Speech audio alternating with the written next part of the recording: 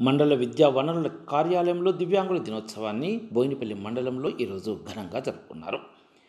ఈ సందర్భంగా దివ్యాంగులు విద్యార్థుల తల్లిదండ్రులు పాల్గొన్నారు. దివ్యాంగుల విద్యార్థులకు ఆటల పోటీలు చిత్రలేఖనం పోటీలు నిర్వహించారు. ఈ సందర్భంగా మండల విద్యాధికారి దీక్షితుల శ్రీనివాస్ మాట్లాడుతూ దివ్యాంగులుగా పుట్టడం శాపంగా భావించకుండా ఆత్మస్థైర్యంతో ఎదగాలన్నారు. దివ్యాంగ విద్యార్థులకు ప్రభుత్వం నుంచి అన్ని రకాల వసతులు ఏర్పాటు చేస్తూ వారికి కూడా సాధారణ విద్యార్థులకు అందించినట్లుగానే విద్యా సదుపాయాన్ని కల్పించడానికి కృషి చేస్తున్నట్లు తెలిపారు. ఈ అవకాశాన్ని దివ్యాంగ విద్యార్థులకు ఉపయోగించుకోవాలని సూచించారు. అంతేకాకుండా నెలలో నాలుగు సార్లు దివ్యాంగ విద్యార్థులకు ఫిజియోథెరపీ మండల విద్యాధికారి కార్యాలయంలో నిర్వహిస్తున్నట్లు తెలిపారు. ఇందులో ఎంఈఓ దీక్షితుల శ్రీనివాస్తో పాటు ఫిజియోథెరపీ డాక్టర్ మయూరి ఉపాధ్యాయులు సత్యనారాయణ నరేందర్ సిబ్బంది పాల్గొన్నారు.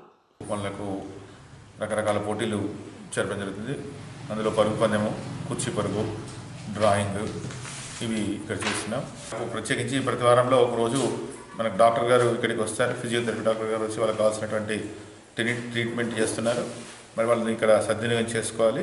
మరి ఆ సందర్భంగా మనం ఈరోజు ఇక్కడ ప్రత్యేకించి ఈ వికలాంగ దినోత్సవం జరుపుకుంటున్నాం. కొంత ఎలక్షన్ కోడ్ ఉండడం వల్ల మనము కేవలం ఎంఆర్సీ పరిధిలో ఈ- కార్యక్రమం కార్యక్రమాన్ని జరుపుకుంటున్నాం. ఈ విషయాన్ని ఈ సందర్భంగా మీకు తెలియజేస్తూ మరి అందరూ కూడా ఇది వచ్చిన అందరికీ కూడా కృతజ్ఞతలతో ఈ ఈ అందరం కూడా దీనికి సహసహకారం చేసిన